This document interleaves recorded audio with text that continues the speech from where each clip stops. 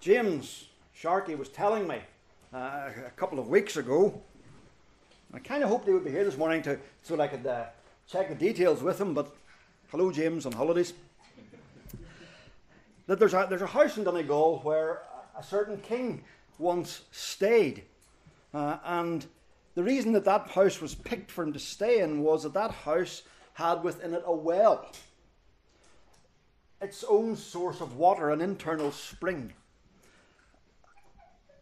And because there, there was the threat of hostility when, when that king was here, uh, it was such a perfect location because they could guarantee uh, safe, pure water. It was a great defensive position. Imagine that they had been attacked and were under siege. You could last a long time if you've got supplies and you've got fresh water. What would you do? You would guard that well with your life. It's the source of your life. You wouldn't let it become polluted. That would only help the enemy. And so we come to Proverbs chapter 4 and verse 23. Above all else, guard your heart, for it is the wellspring of life. Or as the, the more recent NIV has it, for everything you do flows from it. I like the imagery uh, of the wellspring of life. Above all else, guard your heart, for it is the wellspring of life. There are many important verses in Proverbs. There are important verses that direct our attention upwards to God. Trust in the Lord with all your heart and, and lean not on your own understanding, we're told. That, that's directing us upward. But I think of all the verses in the book of Proverbs that direct our attention inwards, I think this is the most important if there's one verse that we should remember that directs us inward in the book of Proverbs, it's this. Because it tells us above all else, above all else, here is one verse to make your focus for life and especially for the week ahead. Here's something that the Bible says above all else, or as the ESV has it, with all diligence. Whatever you're doing, what are you to be most diligent at? This heart keeping that is spoken of here. And there's two things I want us to see this morning. First of all, the importance of the heart, and then the guarding of the heart. First of all, the importance of the heart above all else. Now, as you look at your Bibles, you'll see that in these verses there are other things mentioned. Verse 24 says, speaks about our mouths. Uh, we're told, put away perversity from your mouths, let no corrupt talk uh, come from your mouth. Verse 25, let your eyes look straight ahead, fix your gaze. We're told later on about our feet and where they go. Think of all the damage that can come to us through the things that we look at, whether they make us envious or jealous or discontent or angry or proud or lustful. Think of the damage the eyes can cause. Think of the damage our words can cause through our mouths. Think of all the trouble we can get into if we're not careful with our words. Think of all the trouble that we can get into in the places that we go where our feet take us. But Solomon says, above all that, above the eyes, the, the ears, the lips, the mouth, above all else, guard your heart. Guard your heart. Literally, the Hebrew says, more than all guarding, more than any other guarding, guard this. Whatever you're going to guard, wife, children, animals, finances, safety, this is to be guarded above all. Here's the importance of guarding the heart. Important for, let me say, two reasons because of what it is because of what it is. It, it, the Bible's not thinking about the pump that circulates the blood around the body. In the Bible, the word heart doesn't refer simply to, to the physicality of the heart, nor does it re- refer to our emotional life as we would use it today. Oh, well, my heart wants this.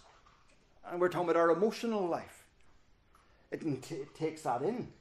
But in the Bible, the heart takes in our, our, our thinking, the mind. It takes in our affections, our emotions, our desires. And it takes in our, our will, our doing, our choices, our decision making. The mind, the emotions, the will. Hold those three in your head because we'll, we'll keep coming back to them. Eh, but really, what it boils down to is that's you. That's the you that's you. The real you. Bible calls that the heart. The you that only you know. The control center. Think of all that goes through your head and how it impacts your emotions and how it changes how you respond to circumstances, what you decide and determine to do. That's the heart. It's fundamental to us. And the Bible tells us that it's got a problem. Jeremiah 17:9 says the heart is deceitful above all things and desperately sick. It's sick. It's got a problem. The driver of us, the, the, the core of us, is flawed and poisoned like a well that has been polluted. We see that way back in the opening book of the Bible in Genesis, chapter 6, verse 5.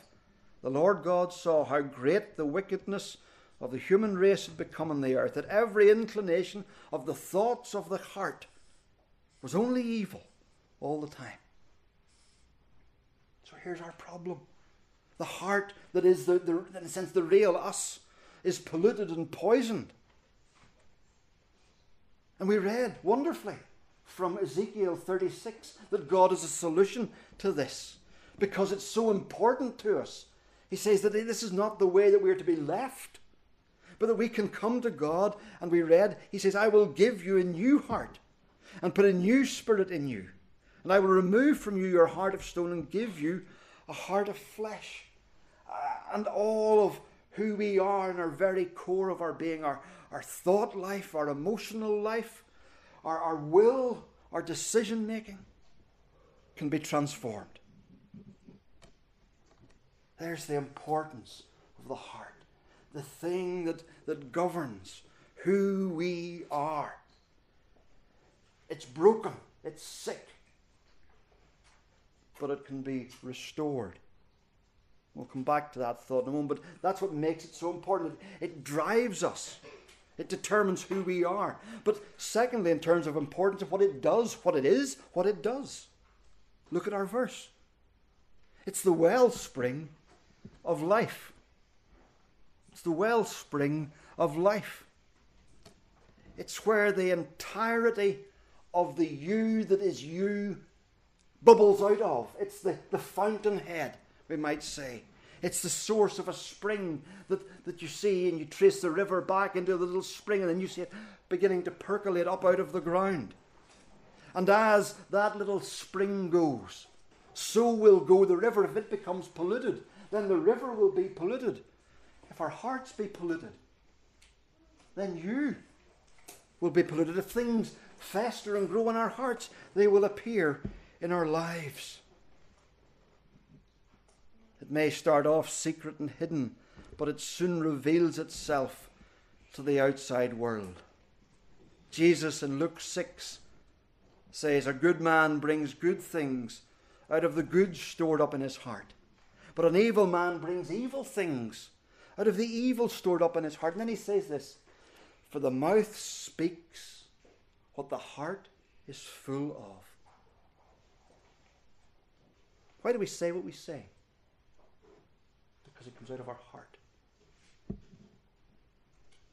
In Matthew 15 19, Jesus says, For out of the heart come evil thoughts, murder, adultery, sexual immorality, theft, false testimony, slander. The heart is important because of what it does. It's where sin starts, it's where it mutates and grows, it's where it's multiplied and cultivated. It's where it pollutes and sinks into our psyche. The heart is who we are. You know, people say things like they, they say something or they do something, they go, Well, that's not who I really am. Actually, it is. We like to think that in our worst moments, that's the blip. Actually, our best moments are the blip. They're the odd thing. Our hearts show us the baseline. The bad moments show us the baseline of where we're actually at. Nor is it enough to say, well, okay, I hear what you're saying, Mark, but okay, what we'll do, we'll put a lid on it. We'll not let it out. But it'll leak. It'll leak. It'll, eh, eh, it'll pollute. It's like toxic radiation. It'll, it'll seep out into our lives, and everything we do is a reflection of, of what is inside us. So here is the importance. Our heart can take us to hell. Our heart can ruin our lives. It can ruin, if you're a Christian this morning, it can ruin your Christian witness. It can suck the life out of your Christian walk. It's important. And it's important not just for you, but think of that well that springs up. Uh, and think of waters that flow from that well and other people drinking of those waters.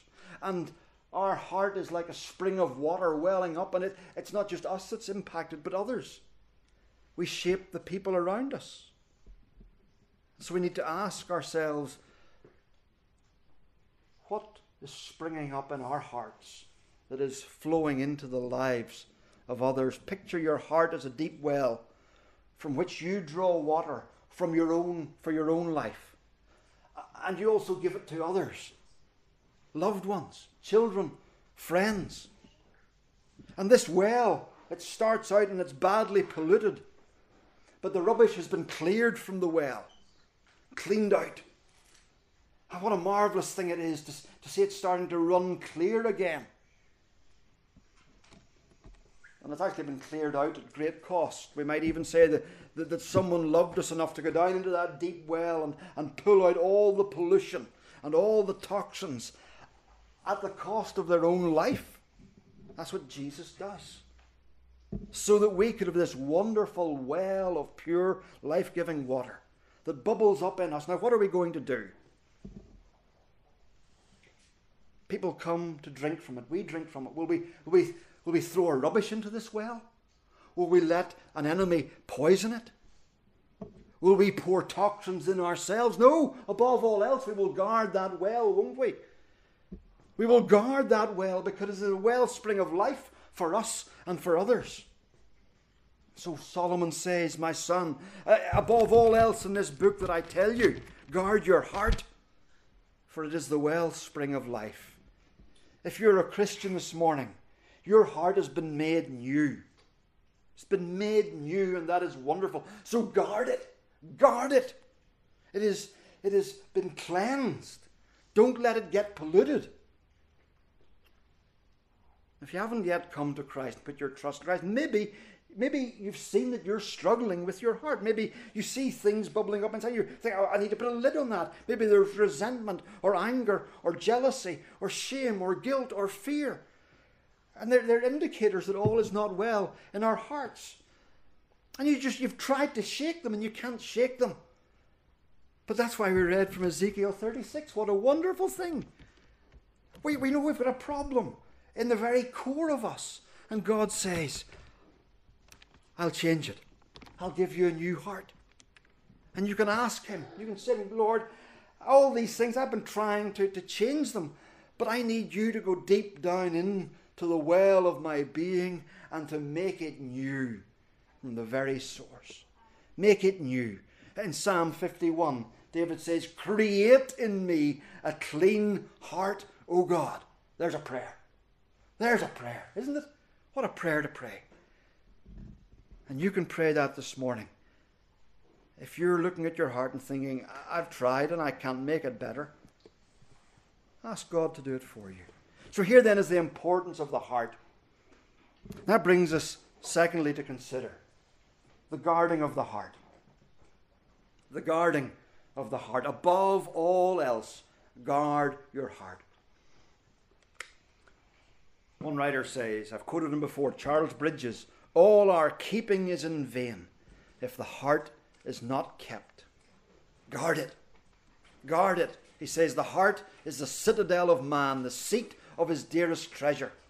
It is fearful to think of the many watchful and subtle assailants. I've been reading a book on Irish history. uh, over the last number of weeks, and uh, fascinating. But you know, there's so many times and places, and, and even in our holidays, we are seeing castles here and castles there, uh, and they were attacked. And if you watched the Red Bull cliff diving uh, yesterday, you saw Dunluce Castle, you saw Kinbane Castle. Our land is full of castles, and they're in ruins because they were attacked. Well, your heart is like that citadel. And if the enemy can capture the citadel, they take the country round about. The heart, Bridges says, is the vital part of the body. A wound here is instant death. Our hearts are under attack from that great unholy trinity the world, the flesh, and the devil.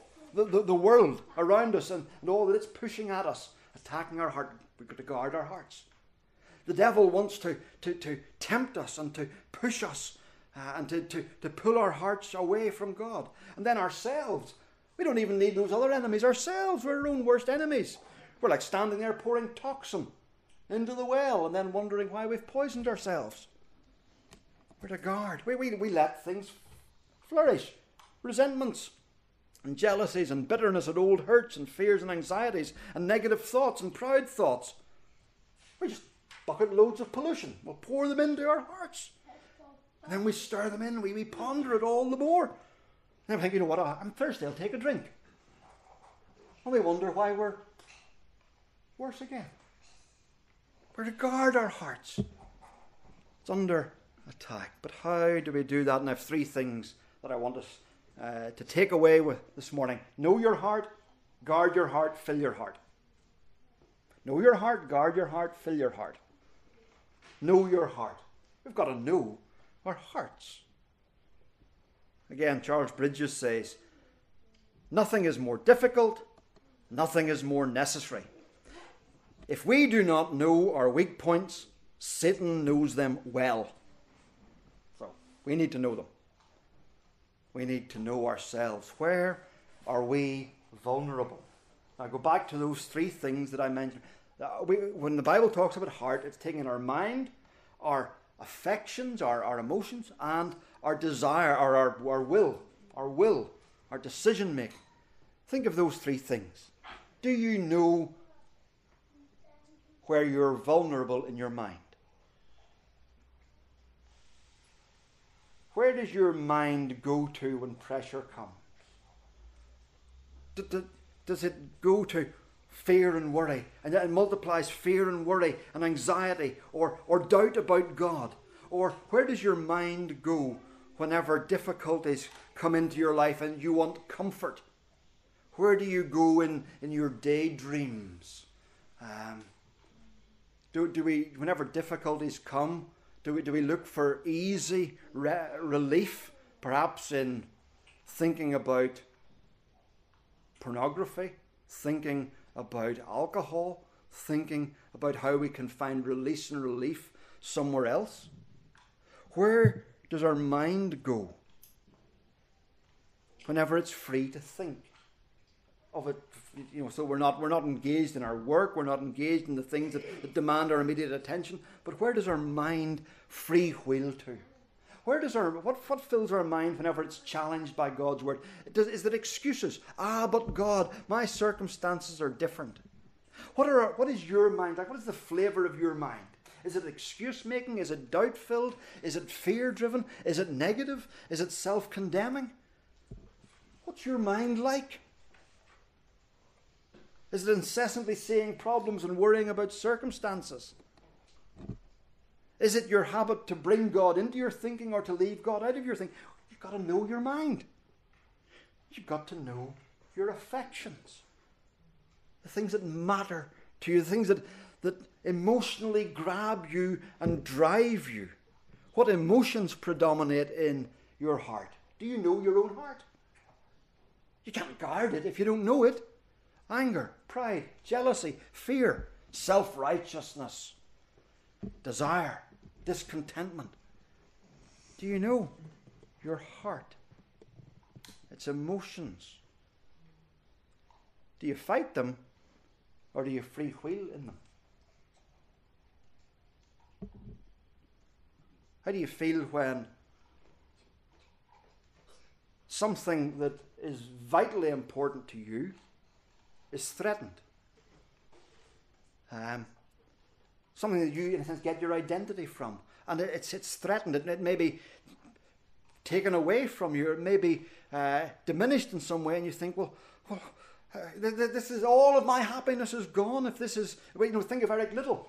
If if all of his emotional happiness and contentment was bound up in winning the gold medal, which actually was the case for the guy that did win the gold medal, Harold Abrahams, uh, Abraham was ne- Abraham was never content because he always knew that Eric Liddell could have beaten him. His emotional satisfaction was corroded by that nagging accusation. You're not the best. You never were. We can, that, we can be prone to that too, Uh, in all sorts of different ways, where we get our happiness, our, our emotional satisfaction from the things around us rather than God. And then, whenever they're threatened, or whenever they, they, they break down, or whenever something goes wrong, we're all downcast and we're in the depths of despair and we're filled with self pity or we're uncontrollably angry or we're fearful? Do you know your heart's affections? Do you know what your will is like? What do you do whenever the minister is saying something and you find it challenging? Do you begin to make excuses in your head? That's part of your mind, but it's also part of your will. Do you begin to dig in the heels and be stubborn? Well, that's the will at work. Do you know? You know what my mum said of me. Mark would argue that a, a black horse is a white horse. A black crow is a white. That, that's part of my will. I'm pig-headed and stubborn. I need to know that. I need to know that so I can guard my heart. So that whenever God's word is coming to me, and I want to dig my heels in, I need to know, Mark, that's just the old you doing that. Stop it. Stop it, Mark. We're not going to grow if we do that. Our wills. What do you know your will? What is it? What self control do you exercise when you're at home and no one is watching? Where where do you let your will off the hook? Ah, nobody sees, doesn't matter. I'll just do this. I'll just say this. I'll just you know. Our decision making. We need to know our hearts. We need to know where our hearts are vulnerable. We need to know the times and the seasons. It might be when we're under pressure. It might be when we go on holidays. It might be when things are easy. There's all sorts of different times and seasons where we know that we do not respond rightly. You've got to know your heart. The good news is that, that in God's Word, if we're willing to listen, to God's Word. It will show us our hearts, and the Holy Spirit will help us to see our hearts and will help us to know our hearts so that we can guard our hearts above all else. So, know your heart. Secondly, guard your heart. Guard your heart. Guard your heart. How do we do that? Well, how would you guard a, a well, a spring? Well, you would keep the leaves from falling down into it. You would stop dead animals from toppling into the source of your spring uh, and dying there and rotting there. You would build a cover to protect it. You would keep an eye out for the enemy seeking to come in and to poison it. You would do all you could. You would cultivate a rigorous intolerance of pollution, wouldn't you? If you were back in the old days and you were under siege and there was the spring of, of water coming bubbling up in the middle of the castle, and you knew that was you would guard anybody you saw going near it. You would watch them.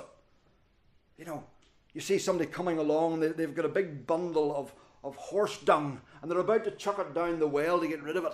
You know, as they're clearing the castle courtyard, and you, you said, "Don't do that! Don't! We got to drink that stuff." And yet, what do we do? Don't we allow? Do we allow things? Let's, let's go over those again. Our mind. How do we guard? Well, slam the door. Slam the door when thoughts begin to arise in your mind that you know are wrong. It might be temptations. It might be excuses. It might be doubts. It might be fears. It might be worries. It might be accusations against God. It might be anger at what God is doing in your life. No, we, we slam the door. It might be that incessant negativity that, that we indulge in and self pity. No, get it stopped. Don't say to yourself, Well, I'm not hurting anybody. It's to- toxic and poisoning our hearts, our affections. Challenge emotions as they arise, preach to them. You know, you feel pride beginning to build up. Remind yourself, God opposes the proud. I, don't want to be in opposition to God. I don't want to be having God's, um, you know, laser sights targeted on me because I'm proud. No, get down, pride. Stop that. You're not so great. You're not so important. Self pity. We love to indulge in it. Guard against it. Mock it. You know, you know, oh, here I am feeling sorry for myself and all that God has done for me and all the salvation He's going to do and all, and all eternity. And here I am for these few short years and I'm here feeling sorry for myself after all He's done. What lunacy. You know, mock it in yourself. We can do that. It depends on our, our, our nature, how it's going to, uh, what's going to be effective for us. But challenge the emotions. Envy. Envy. You might say to yourself, yeah, God hasn't given me that. I know better than God. If God was as intelligent as I am, He would have known He ought to have given me that. Really? Is that what I'm saying? You know, we challenge ourselves and we preach to Look, God, I'm not better than you. I'm not better than you. Our will. We are not victims of our feelings. We can choose to act and to believe and to behave. We can say to ourselves, Come on, soul, let's give thanks to God. Psalm 103. Psalmist says, Bless the Lord, O my soul, and do not forget all his benefits. He, he stirs himself up. He decides that he's going to choose to obey and choose to praise. And we dis- detect a stubborn streak in us.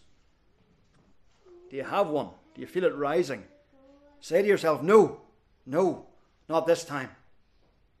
It's not my way or the highway, it's God's way. I'm going to go God's way. Guard your heart. Guard your heart. I came across a line in Charles Bridges somewhere in the book. And It said this Watch over me, O my God, to preserve me from the first rising of my proud heart. Preserve me from the first rising of my proud heart. I went looking for the quote, um, and I found that he uses that phrase, the first rising, quite a number of times. Resist lust in its first rising in the heart.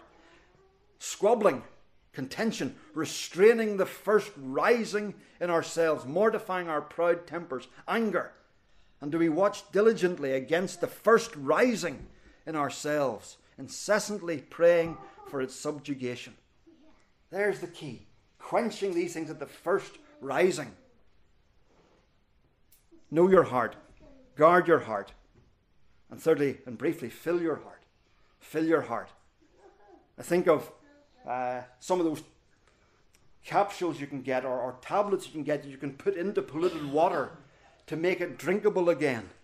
You know, we've, we've pulled out the pollution out of this well, but, but, but still, you know, the problem is that we keep putting pollution back in and, and the waters aren't entirely drinkable. And so it's not just about taking things out and preventing things going in. We need to put the good things into our hearts to purify our hearts. So think of again those three the mind, the affections, and the will. The mind. Keep taking in God's word. Keep applying it. Don't just read it and go, well, okay, that's that read for today. Apply it. Apply it. Take it and work it into your life. I want you to think about this verse all week. Above all else, guard your heart. Now, how do I need to do that? Take it and think about that. Fill your mind with that. You might even sit down this afternoon and you could even draw out a little grid on a page and you, you, you write mind, emotions, and will across the top. And you write no, guard, and fill down the side. And you think, right, well, where, where does my mind have problems? Where do my emotions have problems? Where, where do my choices have problems? Right, I know. Here's who I am. Right? Here's what I need to do to guard my mind, my emotions, my will. Here's what I need to put in. Here's what I need to do to fill. This is what it takes to guard our hearts. You know, if, if, if, if a king found that his well was under attack and he found a weak spot there, he found one of his soldiers was a double agent, a traitor, he would deal with him. He would identify him and he would deal with him. And we're identifying the weaknesses here, saying we will deal with this. Our mind, our affections. Thankfulness kills an awful lot of problems, like sunlight does in water. Kills a lot of problems. How's your thankfulness? How's your thankfulness? And your will. Choose to take in God's word when you don't feel like it. Choose to pray when you don't feel like it. Choose to be at church when you don't feel like it. My friends, don't be a Sunday on, Sunday off person if you're a Christian. You can't guard your heart if you're a Sunday on, Sunday off sort of Christian. And my friends, is there not something significant that I thought this verse was so important that I would have to preach it on a morning because there's more people here at the morning service.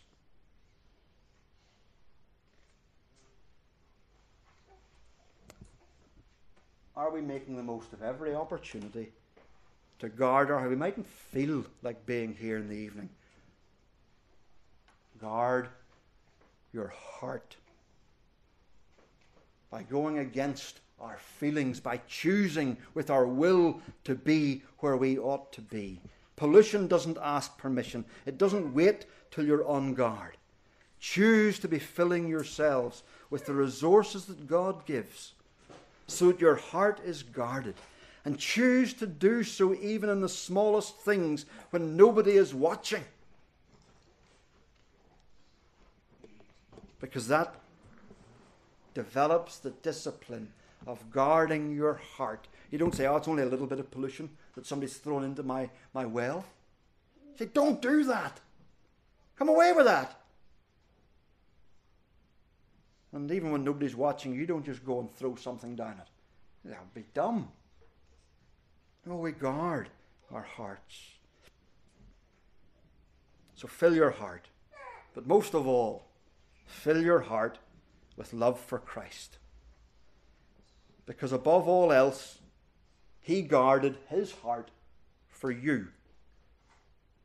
He fought against the satanic assault of all the legions of hell, targeted with awful force against his mind, affections, and will, his heart, like some ancient warrior fighting off the, the, the enemy as it comes to pollute the well so that his future people could drink from that well and live. He guarded his heart so that you could drink from this wellspring of life. And now that life flows from, as it were, his heart to you and bubbles up in your heart. And Solomon now says to you all the more, guard your heart. Guard your heart. Because it was won at such a great price, cleansed at such a great price. It is being made into something beautiful, and through it you are refreshed by your Saviour.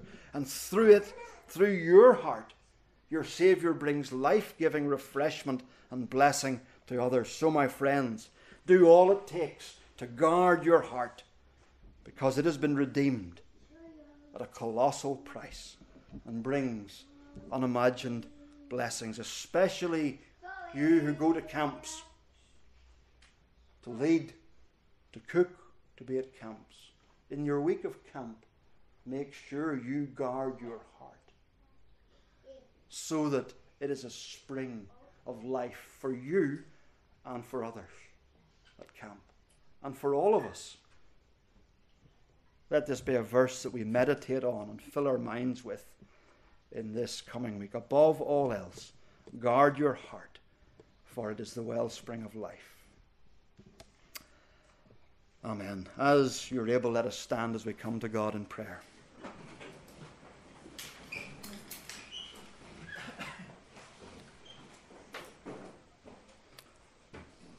O Lord God, oh, that you would give us a better heart, a heart to love you more, a heart to hate sin more, a heart to walk more evenly with you, so that we're not up and down, humps and hollows, in and out, backwards and forwards, all over the place. Lord, give us a steadfast heart. Oh Lord, let us know our hearts, to know the inclination of our heart, to not make excuses for ourselves, but to determine by God's enabling grace at the first rising of anything that we know that ought not to be there, or the things that have been there so long that we assume that they're just part and parcel, that we would, would say, No, this ought not to be here. And that we, by the Holy Spirit's enabling, would guard our hearts. O oh Lord God, we thank you. We thank you that Jesus came into the world to, to cleanse our hearts and to give us a new heart we thank you for what He has done. Father, we pray for any watching, listening here this morning or online who do not yet know Christ as their heart cleanser, that they, that they would know Him as that, and they would have a new heart.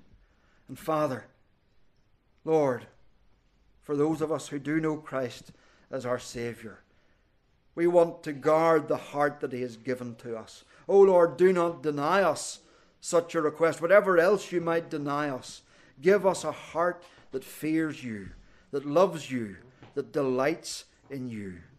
Father, we ask these things in Jesus' name. Amen. Amen.